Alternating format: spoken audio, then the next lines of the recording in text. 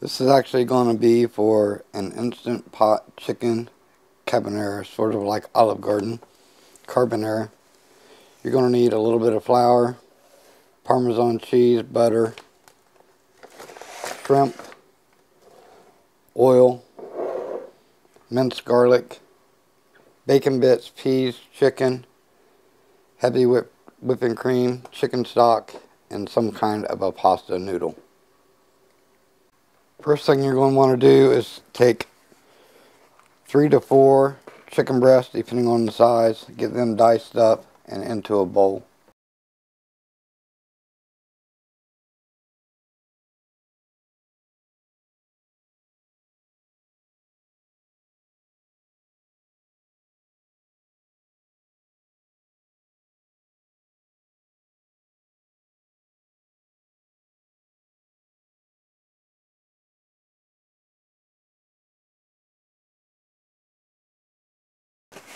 Once you have the chicken cut up, sprinkle the top with flour.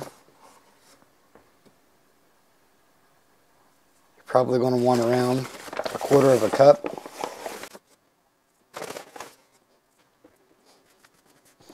Then cover the bowl and shake it.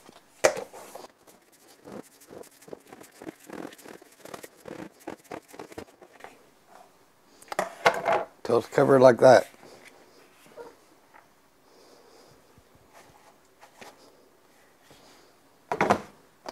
Cover it up and set it aside.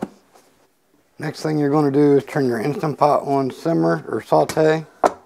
You're going to add 3 tablespoons of butter and 2 tablespoons of oil.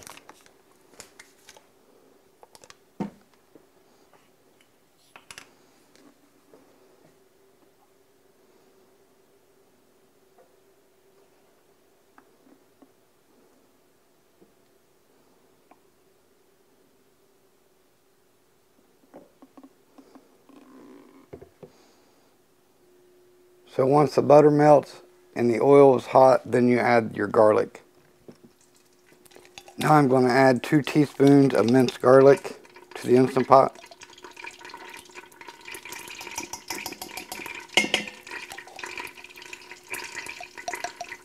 I like garlic, so I don't care if it's heaping or not.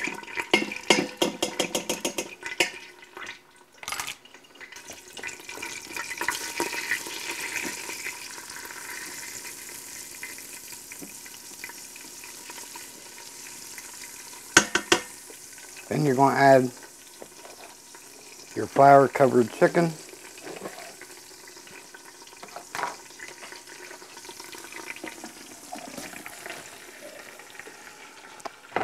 Give it a good stir.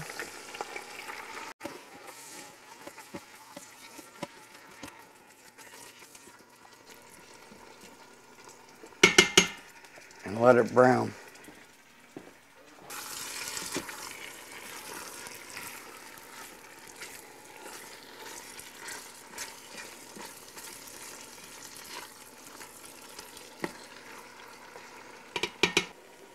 So once the chicken is cooked and no longer pink, you're going to add one pound of whatever type of pasta that you want. I'm using this, you can use whatever.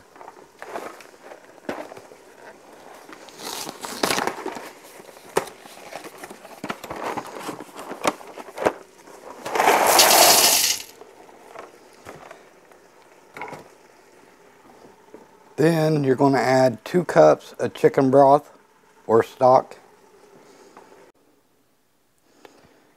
I'm not sure where the last clip shut off at, but the battery died.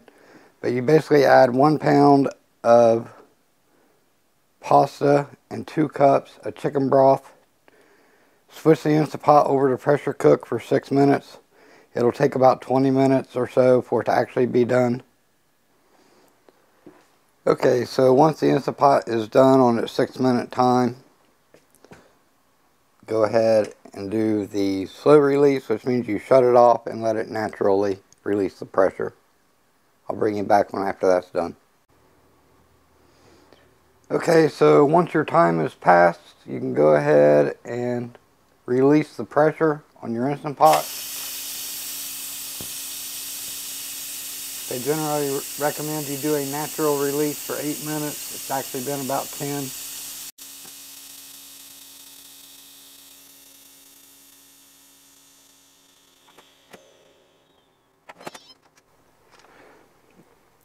Go ahead and stir up the mixture. I'll show you what it looks like right now.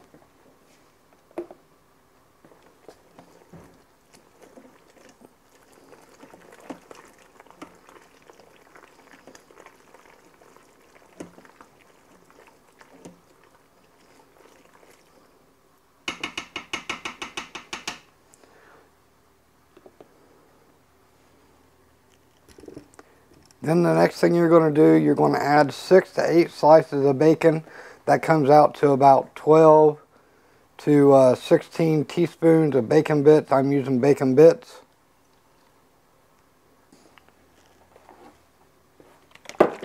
You're also going to add two cups of heavy whipping cream.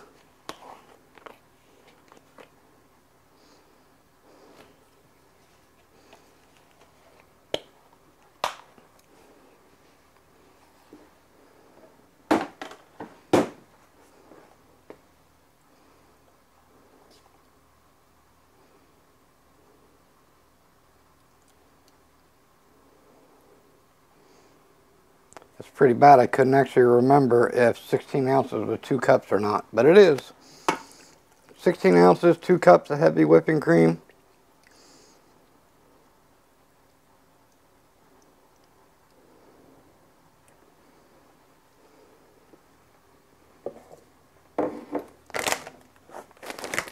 You're going to add cooked, one pound of cooked shrimp that's already been deveined and peeled.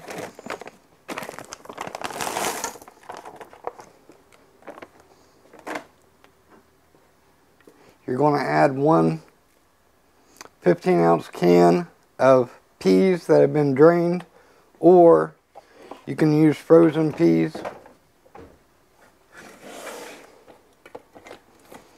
You could also, Olive Garden technically don't put pe peas in theirs. They use red peppers. So you could substitute about 15 ounces of red peppers also.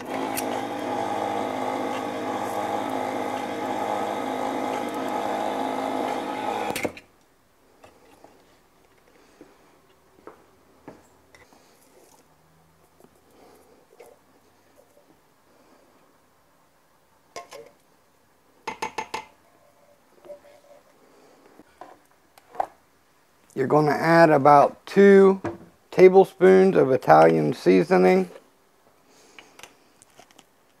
I just eyeball it.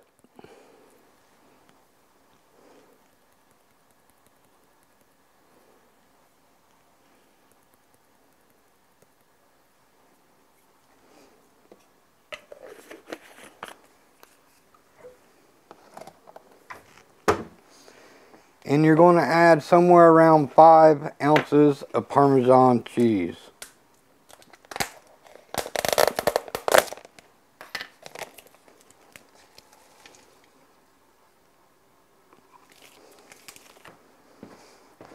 Give it another good stir.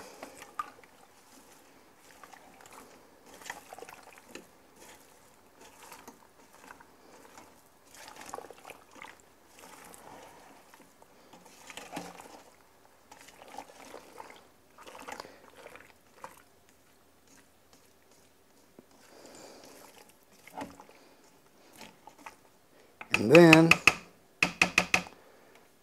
put your top back on your Pot for another two minutes.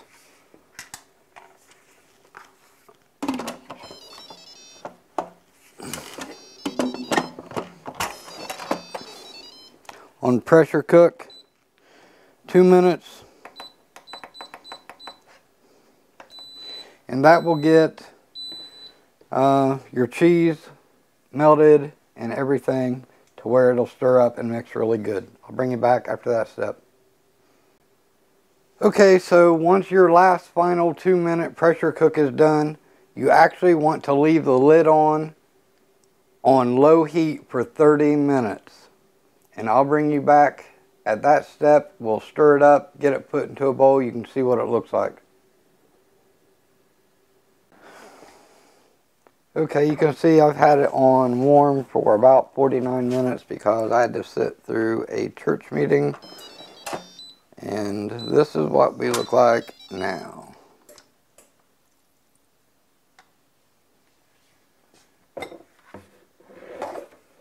Get this stirred up and it should be perfect.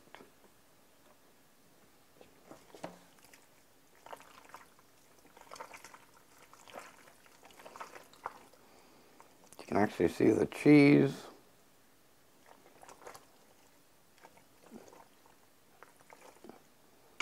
I'd say it's done.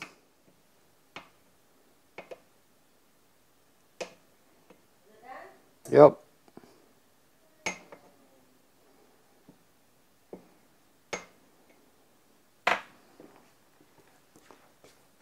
And obviously serve it with some garlic toast.